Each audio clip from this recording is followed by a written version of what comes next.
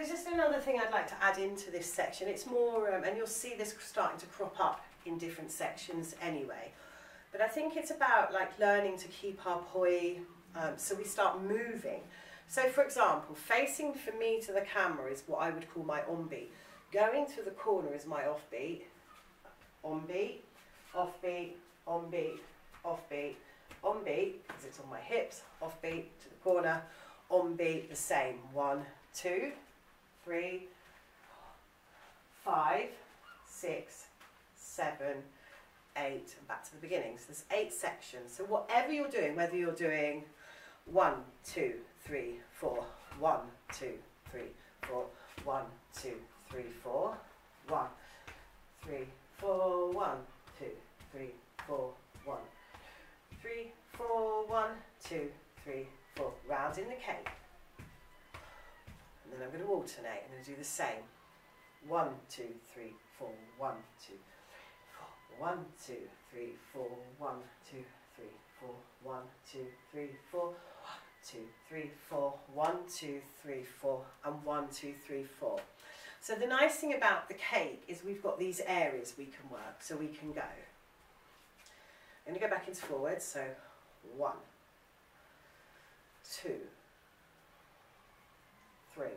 I'm just going to change it to backwards again, four, five, six. Always go clockwise and anti so you don't end up lopsided because otherwise we're always going to go one way. So make sure you do forwards and backwards and clockwise and anti. So it might be you go round in backwards and stop. So again, these rolling up and down is getting us more strength and every time we practice. So let's have a look at that from an inside point of view.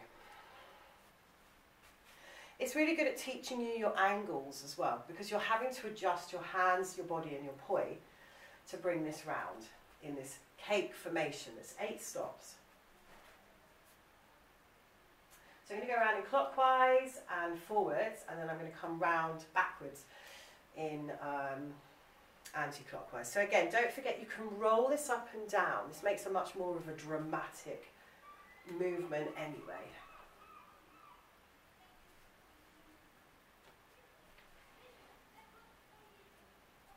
come.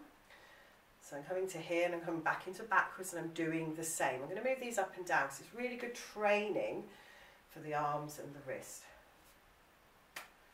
It might be get clonked a few times, don't worry. And up, down, up, down. So how's this going to work in something like a butterfly angel bird? Well, you can again use each section. So I'm going to come back into four. I'm going to go butterfly, angel, bird, turn. So you can see there's a bit of effort that has to go into that. Butterfly, angel, bird. On, straight on. Two, three. Sort the poi out.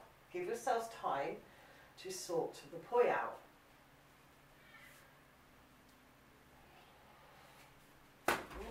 Or throw them don't always get it right. Okay, let's just change that to something else. Splits. So how does it feel moving around with split times happening? Or keep this moving. So whatever you're doing, whatever move in poi right now, we're making sure we can do this at different angles, at different ways, and moving around. And having to adjust my poi